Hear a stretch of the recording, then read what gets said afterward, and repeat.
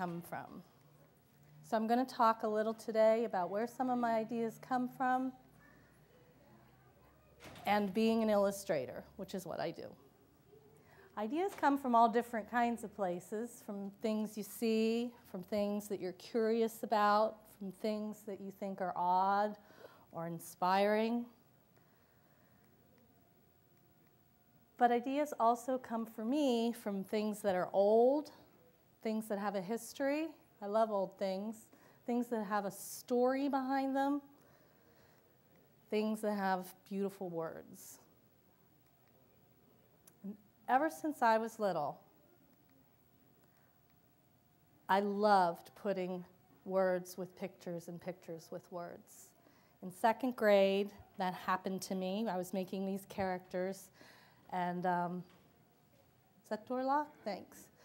Um, I was making characters. I put them with words, and my amazing second grade teacher told me they were good. And she gave me my own area at the art show. And I knew then that I wanted to be an illustrator when I grew up. I think being an illustrator is the best job in the whole world. Because an illustrator tells a part of the story without words. The idea for an illustration can start with a special place for an illustrator. This is my Mum and Pup-Up's amazing brownstone Victorian house on Biddle Street in Baltimore, Maryland. And when I was little, we would go from the country to visit. And my grandmother was an artist, and nothing in this house was normal. Nothing was expected, nothing was predictable. The fish tanks were not full of fish, they were full of snails and wormy things and crustaceans, big wallpaper, collections up to the ceiling in beautiful um, glass bookcases. It was magical. So I get to take my memories of that place and my inspiration from that place. So when I do my picture of it, I think it has more personality and more whimsy than that regular photograph. An illustrator's job is to show their interpretation of what really happens. The author is going to tell you what happens, but I get to show you. This is something I find very inspirational. When I said I liked old things, this is a tintype, which is a very old kind of photography done in the late 1800s. I collect them.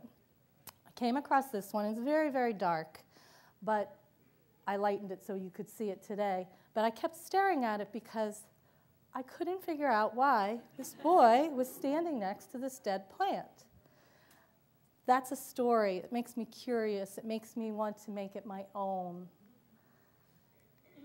And so this is Walter and the pathetic plant. An illustrator can give you a visual clue when you're reading. A good example is this um, riddle joke page that I did for, I think it was Ladybug not long ago. I get to maybe give you a little visual picture that it's going to be a slobster or triceratops or Coca-Cola. Another place inspiration or ideas can come from is trying to solve a puzzle or a job that you have as an illustrator. This is a page that I did for, mm, maybe it was Ladybug too. Um, this poem is really very, very silly. And so basically, I had to come up with something to draw, so I just had to think of everything I could that was orange.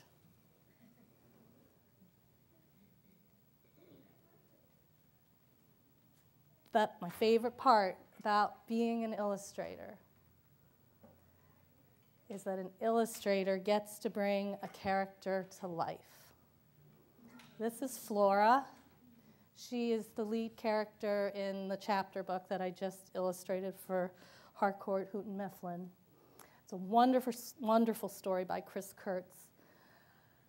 Flora is spunky and she is adventurous and she does want so much more with her life than just to be in a pen and see the world and believes in herself.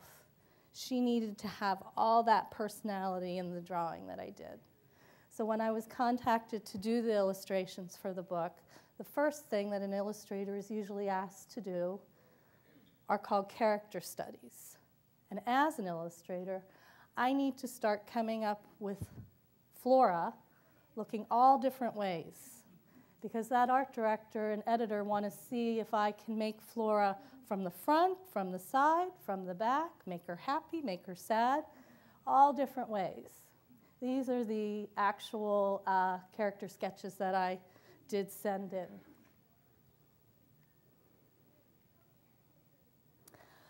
Another thing an illustrator really has to think about when they're developing a character is that that character needs to stand out in a crowd.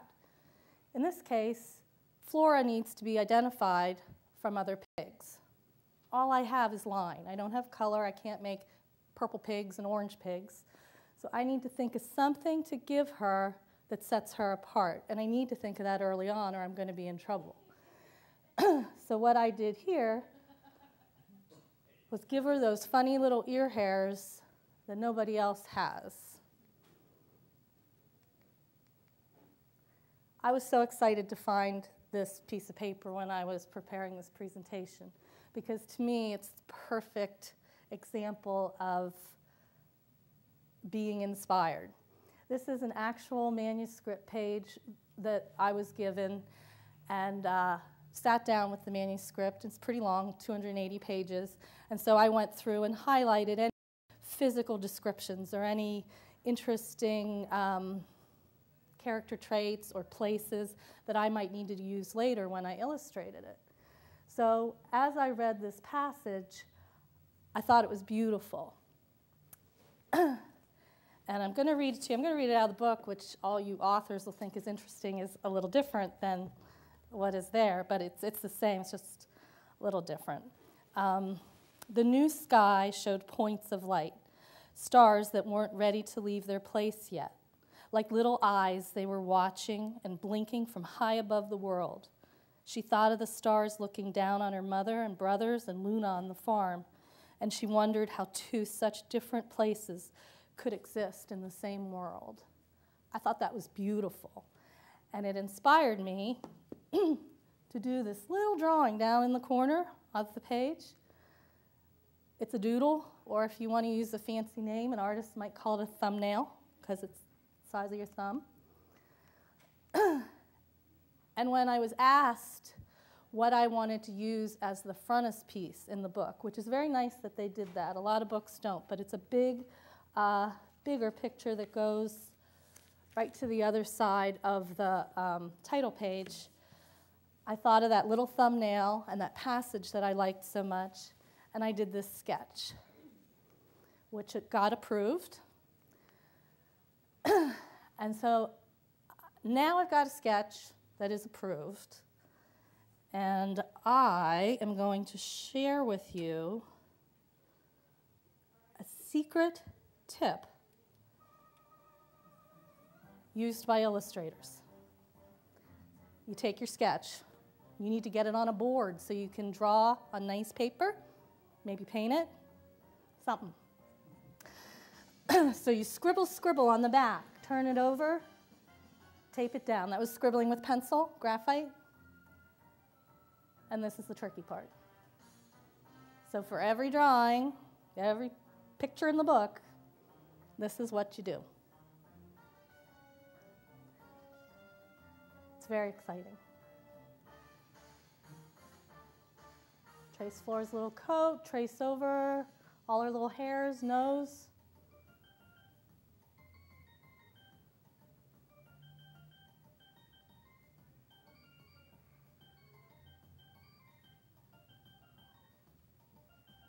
And Now, I've got the perfect image to work from on there. And the best part is it's in pencil.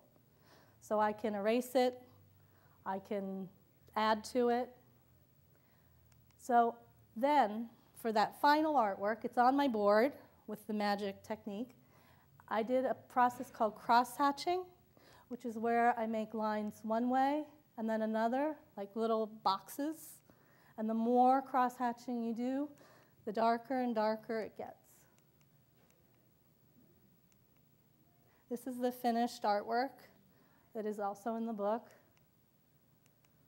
And that's where some of my ideas come from. Does anybody have any questions? Yes, yes. How much contact did you have with Chris Kurtz? Like when he, when he was working with you, did, did you work with him or? No, I'm glad you asked that. I think it's interesting. I think they intentionally keep authors and illustrators apart, mostly for the illustrators' sake. The author is probably still working with the editor to tighten up text and everything. So then the uh, illustrator comes in. I think they probably share things now and then, but I don't think they really ask for input usually. It's pretty much now it's my job and it's given to me and they want to let me do it. Um, so I pretty much just deal with the art director and the authors dealing with the editor separately. But I did, um, after it was published, we have been emailing back and forth. And uh, yeah. Any other questions? Yeah.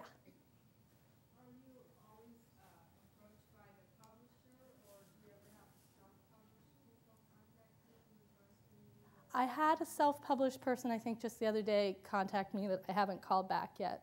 Um, I would be very reluctant to do that, I think, just because of the time and the work that is involved in it. Um, I would just think it would be hard to get that back. You know, um, a publisher just has such a, a wide marketing network that it would probably need to be something exceptional for me to think about. um, you negotiate that with the publisher. Uh, this was a flat fee for the South Pole Pig, which is pretty normal for a chapter book. It's often a flat fee. I'm working on a picture book right now for another publisher that is royalties. So you get in advance and then against royalties. Yes? Um, Are you at all picky about which author you would illustrate for? I mean, do you want to pick a book that you like? Not at this point.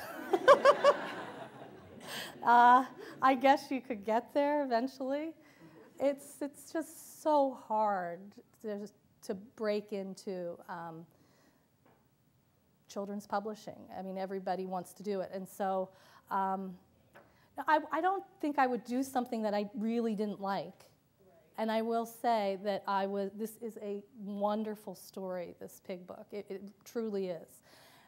And I was very happy about that. I was concerned. I mean, well, I'll be honest, I, and my friends here know, I mean, I kept saying, why did they pick me for this, you know, kind of adventure book about a pig? And yes, she's endearing and there are very strong characters in it, but I think of my work as, you know, whimsical and kind of funny, and um, that's a, they said probably for that exact reason. So, and it turns out they did, but um, I think they wanted it to appeal not to kids who might just like an adventure book, that it is more than that. Um, but no, I wouldn't do something I really did not like. Any other questions? Yes. Um, how do you, if you like for one character, how do you get it like the exact same the, uh, next time you draw that character? That is such a good question because that's a really hard thing to do. And that's, do you remember those character sketches that I showed you of Flora? That's why I need to show that art director who wants to see if I can do that. And so I showed her Flora all different ways that you could still tell it was her, right? But she was doing all different things and looking all different ways with her face. And um, they want to be able to know before they say, okay, you can have this job, that you can do that, because that is hard. And I would say a trick is to really think before you start about something you can give that character Do they have glasses? Are they tall? What things can you give them that tells the person looking at it right away who that is?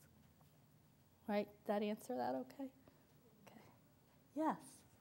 How long do you, is the process from beginning to end? And how long do you? How long do I get to do the illustrations? Not long enough, probably. Um, I don't remember what this one was. Uh, normally, and it's going to be really different with a picture book than with the chapter book and the, the spot illustrations. I, they, I think they try to give um, a year to the illustrator by the time you get it to get it back, but I think it's often more like six months. Um, the picture book I'm working on right now, they totally ignored all our deadlines, and now I'm probably just going to have three months to do finished art, which isn't much. So, yes. What part of the process do you enjoy the most? Do you like the exploration part where you're doing the character studies, or do you like having a roadmap ahead of you and your layout's done and now you get to paint? No, I like the beginning part. I like sketching and coming up with um, the characters, I think. Yeah, for me, I think by the time I have the sketch done, the rest is just a little more manual, and um, I like it. But I think that's also why I do the medium that I do. Um, I want to hurry up and then see it done. I, I don't. I don't want to paint and let it dry and uh, sort of like, okay, this is what Flora looks like. Yes, now I want to see her, you know, at, at the end on the ship. You know, um, yeah, probably sketches. Yes. Would you rather do a picture book where your art is more, Prominent. yeah, feature. or, or one of, a chapter book where the words are, you have more to go off of with the words? Yeah, that's a good question. I, um, I just think they're entirely different. Uh, I have no say in this book where the pictures go, what shape they are, what size they are. A page turn in a chapter book doesn't, it exists more, I think, for the author than it does uh, for the illustrator. In a picture book, it's more married. I think that it, you, you're working together. You really can't have one without the other. This book could not be illustrated, and it'd still be a good book. It's better now, but it, it could it could be a book. Yes, in the back. Sir.